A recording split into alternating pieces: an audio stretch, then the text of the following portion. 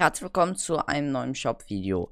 Ähm, wie ihr es hier oben gerade schon seht, es gibt wieder einen neuen Skin.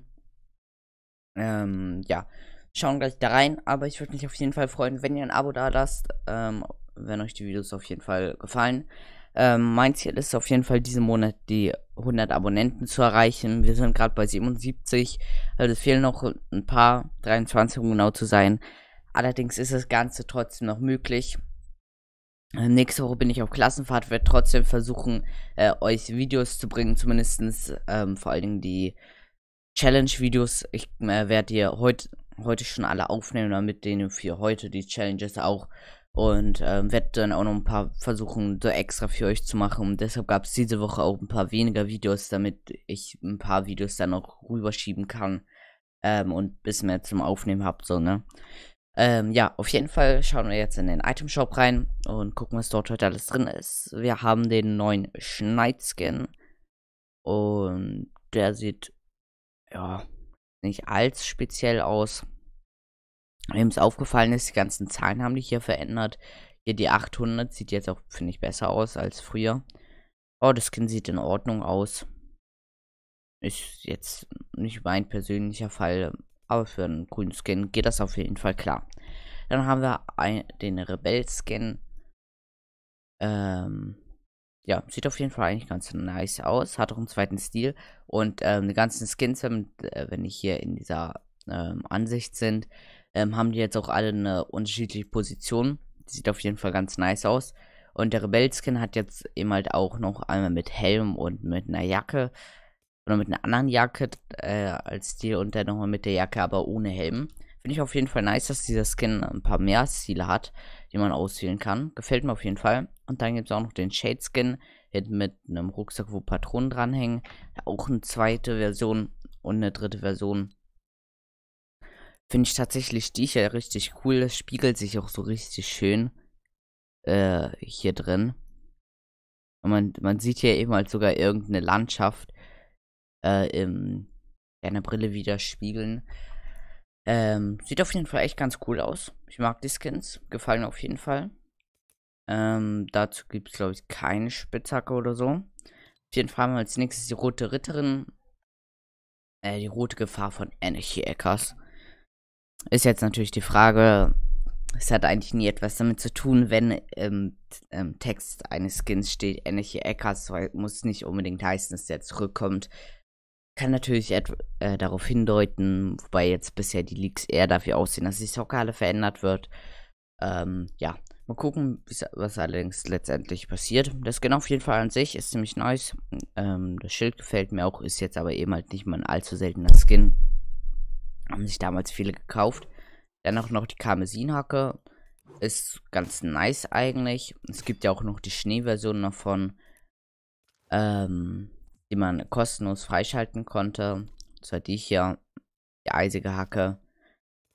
Ja, kann man sich immer trotzdem kaufen. Hat jemand noch eine andere Farbe. Hätte ich mir jetzt aber nicht unbedingt als erstes gekauft.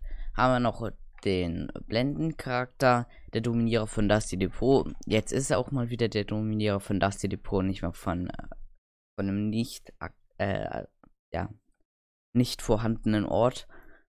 Ähm, ist auf jeden Fall ganz nice, der Skin.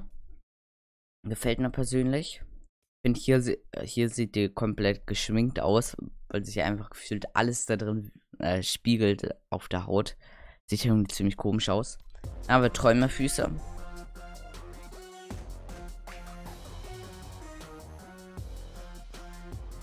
Ist ein nice Emote.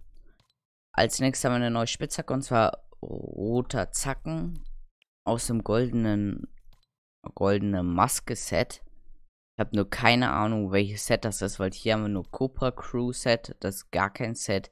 Und dann hier Fortnite Set. Und das hier hat auch kein Set und das ist nur ein Hyper Set. Und das passt zu gar keinem Set, das mir bisher so bekannt ist. Sieht trotzdem extrem cool aus. Gefällt mir. Sound klingt auch nice. Kann man sich auf jeden Fall kaufen. Dann haben wir die Krabbe.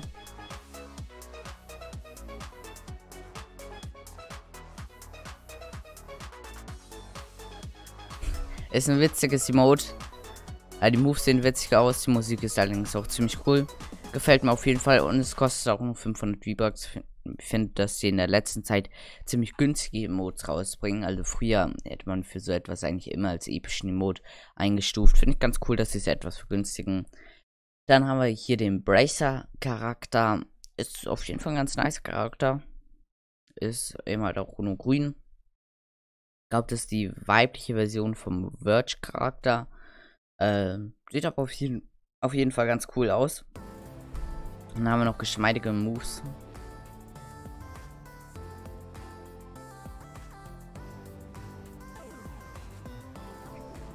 Finde ich echt ganz cool, den Emote.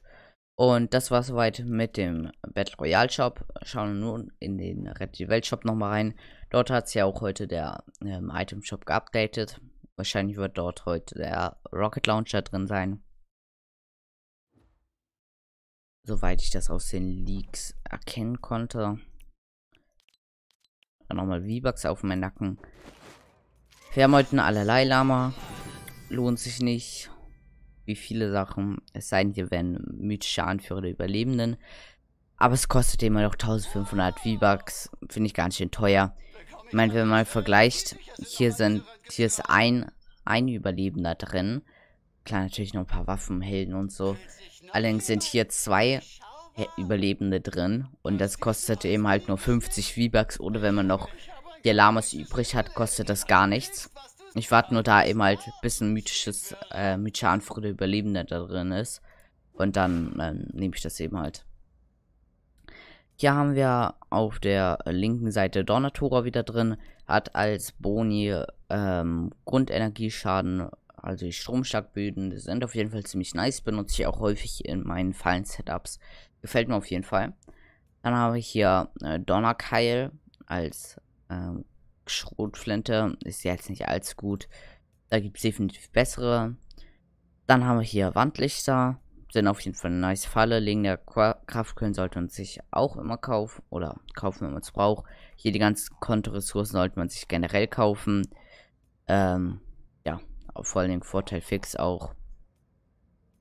Hier haben wir auch übrigens Wandlichter. Also ihr könnt sogar zweimal Wandlichter hier kaufen. Einmal hier und einmal da.